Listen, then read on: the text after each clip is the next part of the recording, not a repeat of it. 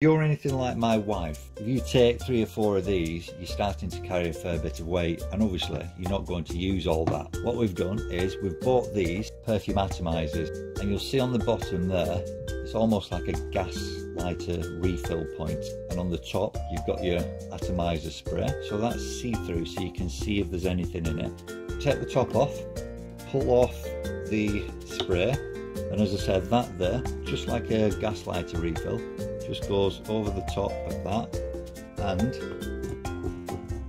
start to go like that. Flipping it up and down. So it's already up to that level there. Filling up. I think these are about four or five mil.